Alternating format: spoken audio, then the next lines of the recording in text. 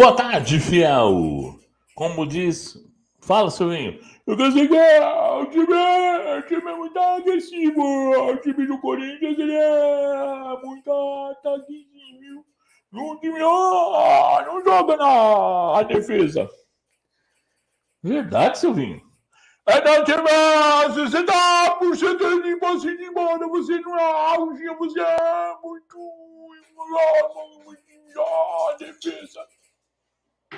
Sério? É, não, ganhou do Santander. Ah, e por isso ele acha que ele é treinador. Ei, Silvinho, o nosso querido Tonho da Lua, o treinador que com 60% de posse de bola contra o poderoso Santo André, diz que o time jogou muito, foi agressivo, foi um time que buscou ataque, foi incisivo, e ainda considerando, né, os repórteres que lá estavam e a torcida do Corinthians. E deixando claro que para ele pouco importa o que a torcida pensa. O importante é que os pais adotivos dele pensam, né? Os criadores dessa, dessa, dessa ameba, chamado Silvinho. Roberto Andrade e William Monteiro Alves. Já perdemos 20 dias esse ano com o Silvinho. Vamos perder mais quantos? A pré-temporada já está acabando. E aí eu vou te falar, hein, Duílio? A frase que usaram quando, oh, quando eu questionei por que algumas coisas não tomou atitude, eu escutei a frase assim, Marcão, ele não tinha caneta, era o Andrés. Ele só era o diretor de futebol. Agora você tem a caneta, Duílio. Qual vai ser a desculpa da manutenção de Silvio Mendes à frente do Corinthians? Qual a desculpa de aceitar as escolhas estapafúrdias do seu Roberto de Andrade à frente do departamento de futebol? Qual a dificuldade, presidente, do senhor exercer o seu papel de presidente ordenando um time jogando realmente como tem que jogar bola?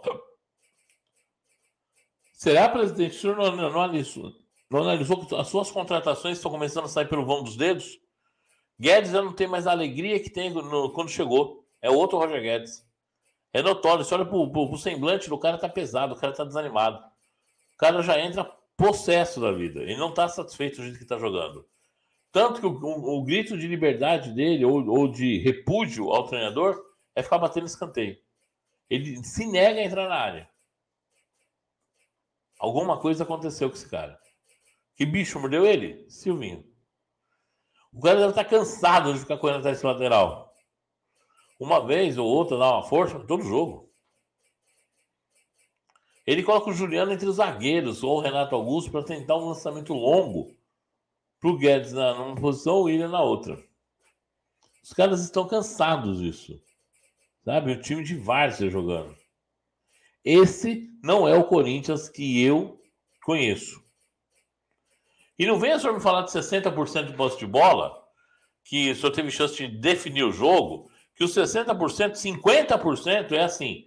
Fagner para Gil, Gil para Raul, Raul para Fábio, que toca para Duque, volta um pouquinho mais para o João, ou desculpa, o Gil, o Gil estica um pouquinho para o Fábio, o Fábio mete a bola aqui para o Gil, o Gil rola para o Raul, Raul volta para o Gil, o Gil toca no, no, no, Gil, no 22, o Du, o du vem com a bola girando e não tem quem tocar jogar no Fagner, o Fagner volta a bola todinha lá atrás com, com o nosso querido é, Raul, Raul tenta sair, sai pelo lado esquerdo com, com o nosso querido. É, né? ah, Fábio Santos, e o Fábio Santos chega no meio do campo, ele volta a bola para o Raul.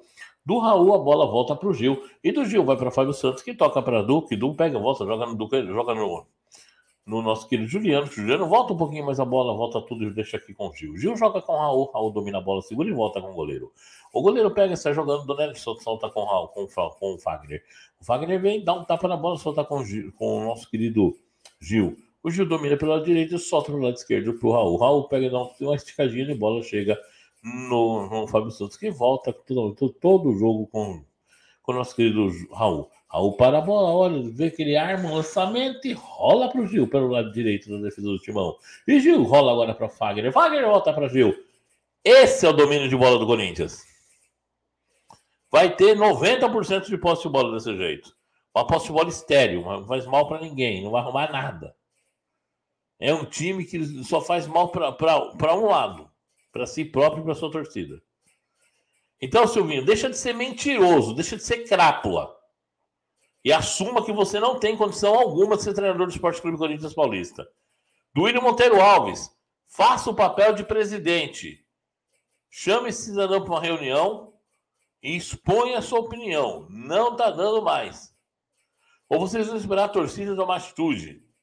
Depois vocês ficam bravos com, com, com cartaz que é feito na porta do clube, com, com, com caixão que é queimado na porta. Aí vocês vão ficar brabo. É, estão fazendo aquilo da gente, blá, blá, blá. Vocês estão pedindo, entendeu? Vocês estão pedindo. E aí, o, o clube está rachado sim. Você vê que tudo isso tem um pouco a ver com o Roger Guedes sendo aproveitado. Ele está incomodado com isso. Será que não está na hora de definir o elenco? Olha, esse elenco vai ficar, esse aqui não vai ficar. Os jogadores querem isso, cara. O jogador quer isso. Mas o jogador também quer ser cobrado, o jogador também quer ser instigado a jogar bola. Coisa que ele não consegue fazer, gente. Ele fica na beira do gramado assim, ó.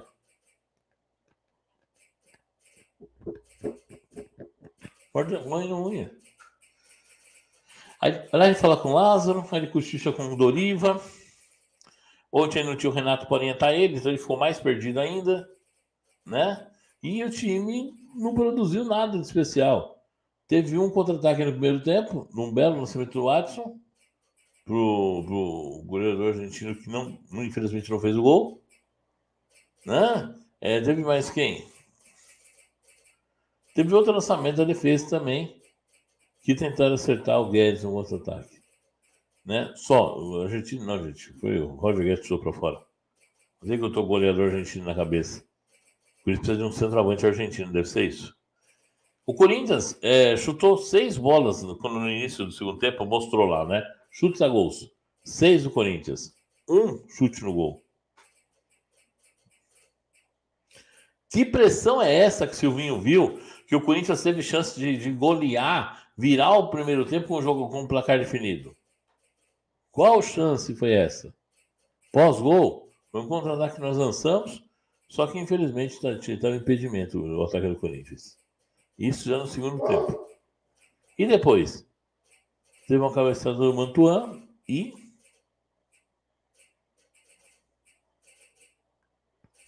E, pergunto para vocês, e. Aí ele vem com aquelas coisas, né? É, eu quero dizer que. Pois não? Não, quero dizer que. Não, vocês estão completamente equivocados na sua colocação. O time jogou bem, o time pressionou, vocês vão dizer que o time do Corinthians não, não agride adversário? Não, não, não, vocês estão errados. Não, não, não, completamente. O time atacou, atacou outro. A torcida, a torcida, aí eu não me importo, porque os jogadores já trabalharam com tanto técnico aí, ó. E, e eu não pago pro cara falar bem de mim, não, viu? Fala porque quer. E gosto muito do nosso trabalho. Trabalhamos muito para isso e a equipe está de parabéns. Mas a, a, vitória, a vitória foi sensacional. Uma grande partida do time do Corinthians. Poderíamos ser definido no primeiro tempo. Feito quatro, cinco gols, não seria nenhuma dúvida. Mas aí no, no, no intervalo não fizemos. E o adversário veio para cima e nós colocamos o Paulo, porque o Paulo foi jogar lá na frente como centroavante. Porque ele já fez a função de centroavante, na minha cabeça. Né? Mas já fez isso na carreira dele. E aí a gente coloca os outros jogadores para ficar correndo atrás da bola. Então, isso mostra a nossa agressividade contra tudo e contra tudo, o vento, o ar. Disputamos uma partida sensacional e vencemos só por 1 a 0. Olha, eu vou falar uma coisa para você. O que esse time jogou de bola ontem é uma enormidade. É uma enormidade. É uma enormidade. Enormidade. É, Silvinho. Esse é o tipo de declaração de um treinador que não sabe o que responder. O lugar de pura e simplesmente falar assim: não consegui acertar o time. O time não está jogando bem. Eu reconheço, eu preciso melhorar. Gente, eu não consigo, eu estou tentando. Me apoiem, me ajude a melhorar. Seria muito melhor do que dar esse show de horrores em suas entrevistas. Tá ok? É, esse é o Silvinho. Nasceu aqui no Terrão, mas do Terrão não tem nada. Né? Não sobrou nenhuma marca, nenhuma sequela do grande dor que o Silvinho tem no terror, tá ok? Mas esse é Silvinho e a gente, infelizmente, somos obrigados a aguentar. Ontem, ontem, a nossa campanha de solidariedade teve um gol, né? Então, é, quem quiser doar leite, a cada gol marcado pelo Corinthians, o Paulista doe um litro de leite longa-vida. Olha, já vou ter que mudar para dois, três litros, viu? Porque gol com o Silvinho é difícil. Mas onde é um gol, então é um litro de leite. Já prepare na sua, marque na sua agenda, já tem um litro de leite a ser doado no gol da solidariedade. Esse é o time que ele fala que joga no ataque. Aqui o Corinthians está defendendo esse lado do campo, o lado esquerdo. Essa marca de verde e vermelho foi onde os jogadores mais atuaram o campo todo. Veja onde o time do Corinthians correu mais. No meio campo defensivo. Ou na linha de fundo do lado esquerdo, porque só apertava o lado esquerdo do defensor do Timon. Infelizmente, isso aqui ó, é o reflexo dado do, do como o Corinthians alternou em campo. Ok? É, triste, mas é realidade. E aqui você vê o time inteiro jogando atrás da linha da bola. Esse é o time que joga buscando o ataque? É o time agressivo que ele falou? Tem um jogador aqui, o time do, do Santo André todo no ataque, o time jogando atrás da linha da bola, como vocês podem ver. Esse é o time agressivo?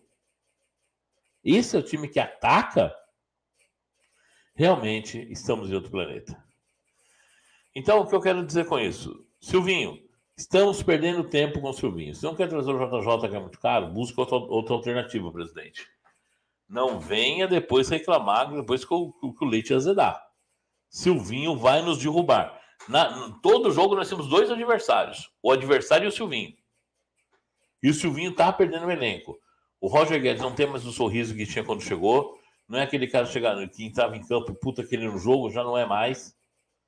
Já tá possesso. Eu acho que ele não veio a sair fora do Silvinho. Tá? Os outros jogadores deixando bem claro que ele é um aprendiz. Eu, eu, eu, pelo amor de Deus, né, presidente? Pelo amor de Deus.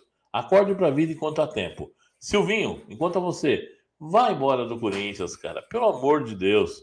Deixa Fiel em paz. Vai trabalhar em outro lugar. Vai ficar com a sua família. Vai ser feliz. E o Corinthians será muito feliz e muito melhor sem você. Acorde para a vida, ainda dá tempo. Você não é técnico nunca será. Você é péssimo. Você é um dos piores da história de 110 anos, mais de 110 anos do clube. Tá? Você é pior, um dos piores em mais de 110 anos de clube. Ok? Você realmente é uma vergonha ao Esporte Clube Corinthians Paulista. É isso, gente. É o que eu tenho para falar. Se eu falar o que eu estou pensando, eu vou falar um monte de palavrão, então não vou falar. Mas deixe o seu comentário aqui, ó. Seu fora Silvinho. A não ser que você concorde que ele tem que permanecer à frente do timão. Tá ok? E vá lá no nosso site, marcãodafiel.com.br e também explane sua, sua opinião e sua posição em relação a Silvio Mendes, ainda atual técnico do Corinthians. Um dia ele vai embora, se Deus quiser. Tá ok? Tamo junto, fiel. E vai, Corinthians!